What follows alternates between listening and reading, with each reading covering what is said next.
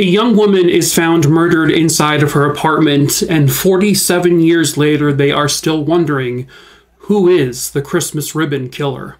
Hello, true crimers. This is the case of Lynda McDaniel. Viewer discretion is advised.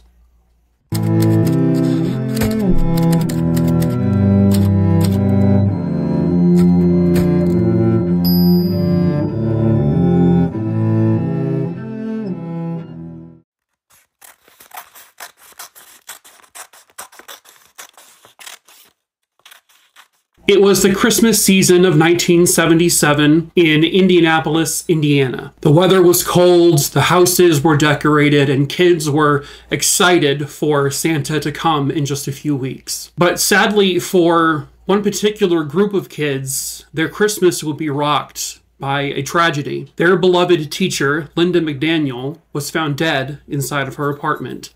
23 year old Lynda McDaniel had only been teaching in elementary school for just a year. She taught at Maplewood Elementary, which was located in Wayne Township there in Indiana. Lynda taught the first grade and she was so loved by her students. She was such a great teacher, even for this being something brand new for her. It was her passion. This is what she wanted to do. She loved kids.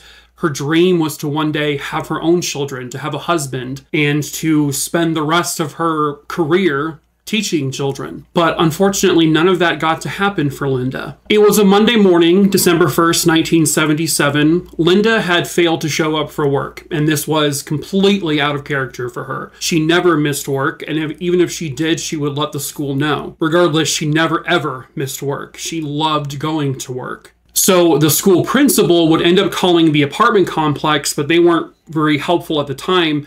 So the school principal knew Lynda's aunt, who had also worked in education. And so the principal asked the aunt, Hey, we haven't heard from Lynda. This is kind of unusual. We're concerned. Can you go check on her? So her aunt, Mary McClelland, would go to the apartment complex, knock on her door, but she was getting no response. And so she asked the people at the apartments to please help her get access to the apartment. And they did. They unlocked the apartment for her. They're searching through the apartment and everything seems relatively normal. There doesn't appear to be any outward signs of any kind of crime happening or anything being stolen or missing, no sign of a struggle. But then they get to the bathroom and the bathroom door is locked. And so at this point, they have to force the bathroom door open.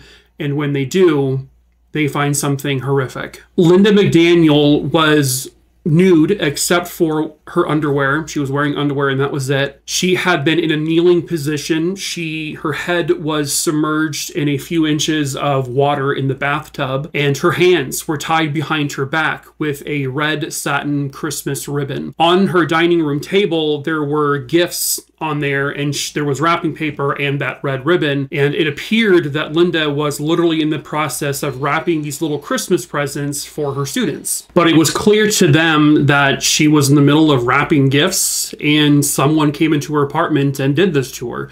There was no forced entry, so she must have, they think, let her assailant in. But then something happened where she ended up with her hands tied behind her back with some of that Christmas ribbon. The killer also shoved a, a towel down her throat and then submerged her head in eight inches of water. But because of the Christmas ribbon being tied behind her back, they the media would nickname this the Christmas ribbon killer. The autopsy would show that she was actually asphyxiated and she did not drown. So when her head was put in the water, she was likely already dead. And they also, I think, found out or somehow knew that her hands were also tied behind her back after she was dead. But who did this? Why? What was the reason? Police are still unsure about that. Lynda Sue McDaniel was born on February 9th, 1954, and I know she had at least one sibling. She had a sister who would also become an educator. She also taught elementary school. Working in the school system was something that ran in the family. Like I said earlier, her aunt worked at a school, her sister, then she did, and I think their mother also at one point worked at a school. As Lynda grew up, she got good grades in school herself. She graduated with honors. She was part of the high school band. She then went to Indiana State University, Purdue, where she got her education degree, with her with the goal in mind to become an elementary school teacher. That was what she wanted to do. She was working at the Sears Automotive I guess, center for about a year or so. And then she was doing like substitute teacher stuff around that same time before she finally got her own teaching job at the elementary school, which she had only been doing for about a year before this happened. And like I said earlier, Lynda had a lot of goals. She wanted to find a husband, she wanted to have children of her own, she wanted to have this, you know, nice wonderful little family to grow up with in Indianapolis. And it's just sad that that never got to happen for her. She never married. She did have a couple of boyfriends on again, off again. Her sister would say that she was kind of like a magnet for lost souls type of people, that Lynda would open her door, open her home to basically anyone who was in need and someone who may be in turmoil or was struggling with something. And it could be that's what happened here that she let someone in her apartment that she likely knew and trusted and then he did this to her. They did look into her ex boyfriends, her past boyfriends. They checked their alibis, they looked into anything they could find on them, and eventually they were able to clear all of her ex boyfriends from doing this. What police believe is that Lynda likely was killed on the night of November 30th. Lynda that night had called a friend, and that friend would later tell police that Lynda said she was expecting a, a man she had recently dated to be coming over to her apartment. Unfortunately, Lynda did not name this particular person. They don't know who this man was. But apparently, this man, according to Lynda, had tried to assault her on a date they had recently gone on. And what's believed is that this man called Lynda that night and said, Hey, can I come over to apologize? And likely he did come over that night. The friend told Lynda, Don't let him into your apartment. If he assaulted you, don't let him in. But Lynda told the friend, Don't worry, everything will be fine. You know, I can handle this. And then Lynda was never seen or heard from ever again. Now, like I said, they were able to clear her known ex boyfriends. However, this particular man that she had recently gone on a date with that allegedly assaulted her, they never knew his name. They don't know who he is or who he was. They also looked into, I guess, a man that Lynda worked with at the school as a possible suspect. Now, this particular man, unfortunately, has passed away in the time being, but he does have kids, and so they're hoping that maybe one day they could rule him out or say he's the one based on, you know, DNA from his kids. But the problem is, is in the initial investigation, they didn't find any DNA. This is in 1977, so this was obviously not really a thing back then, but they did collect a lot of evidence and they have a lot of things that they plan to, over the years, test and retest to see if they can swab things like the ribbon or Lynda's clothing or anything in the bathroom, anything and everything they can think of to maybe try to pull DNA from and build a profile. And if they can, they can take the DNA from that particular unknown man's kids and see if there was a match there, or they can rule him out. It doesn't sound like they found any fingerprints or anything like that, and there were no witnesses who saw a man go into her apartment. No one, I guess, heard anything at all. No one saw, or heard anything. And so they had very, very little to go on from the get go.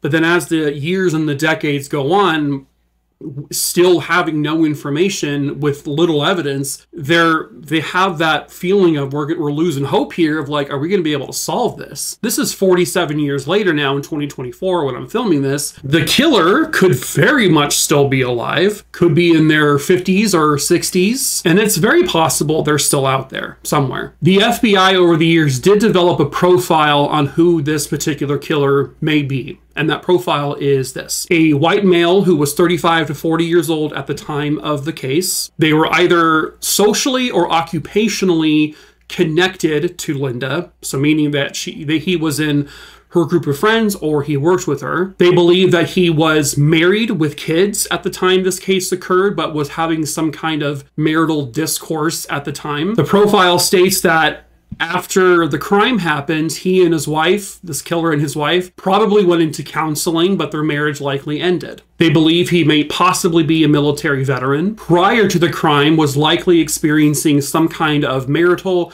and economical crisis. Someone who does not or did not participate much in family activities, likely spent a lot of time in bars. The profile also states that after the crime, this person's consumption of alcohol likely began to lessen or dip after the crime. They do believe that this man had been in her apartment before and that they probably had no criminal history prior to this, except for maybe some traffic tickets, but that would be it. And so that's the profile. So obviously this person would be actually i guess if they thought they were 35 to 40 they would actually probably be in their 80s at this point but again still could be alive. Or maybe they're not but maybe that profile is jogging some memories to you like oh my god that's my dad or my grandpa or that's my older brother or someone I used to work with back in the day, or who, whatever the case may be, you might recognize that type of person from the area of Indianapolis, Indiana from 1977. And so the police there are asking for the public's help. They need to know if you know anything about this murder. If they, if you, if you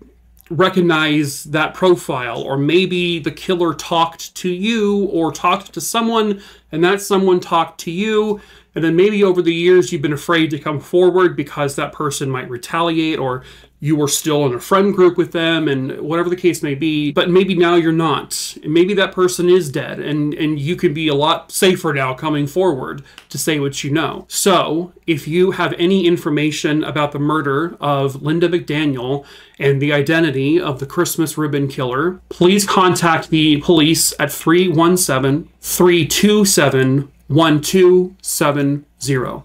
Any information at all. It could be the tiniest little detail that might break this case open. And again, if you need to, you can report your information anonymously. You don't have to say who you are, just have to say what you know. So please, if you know anything, please help Lynda McDaniel get the justice that she very rightfully deserves. But that is it for this case. True crime, a Rooney Dooney Dingleberry Dongs. I hope you found it interesting. As usual, please subscribe to the channel and give this video a like. The more likes it gets, the more people will see it.